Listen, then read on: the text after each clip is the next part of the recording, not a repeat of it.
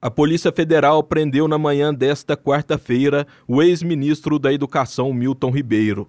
Ele é investigado por corrupção passiva, prevaricação, advocacia administrativa e tráfico de influência por suposto envolvimento em um esquema para liberação de verbas do MEC.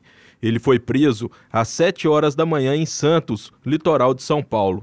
Os pastores Gilmar Santos e Arilton Moura também são alvos da operação deflagrada pela PF. Eles são investigados por atuar informalmente junto a prefeitos para a liberação de recursos do Ministério da Educação. Em áudio divulgado em março, Milton Ribeiro afirma que o presidente Jair Bolsonaro pediu a ele que os municípios indicados pelos dois pastores recebessem prioridade na liberação de recursos. Prefeitos disseram em depoimento que eles exigiam propina para isso e o pagamento era apenas em dinheiro, em espécie e em ouro. Após a revelação do áudio, Ribeiro deixou o comando do Ministério da Educação. Em depoimento à Polícia Federal no final de março, o ex-ministro confirmou que recebeu o pastor Gilmar a mando do presidente Jair Bolsonaro. No entanto, ele negou que tenha ocorrido qualquer tipo de favorecimento.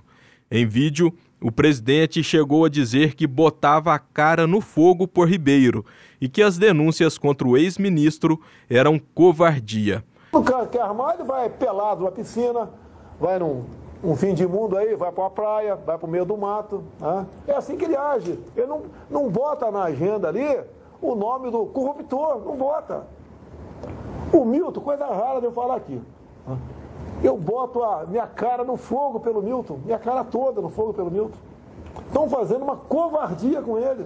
Já nesta quarta-feira, em entrevista à Rádio Itatiaia, quando questionado sobre a prisão do ex-ministro pela PF, Bolsonaro afirmou que Ribeiro é quem deve responder por eventuais irregularidades à frente do MEC. O presidente disse ainda que entre aspas, se a PF prendeu, é porque tem motivos.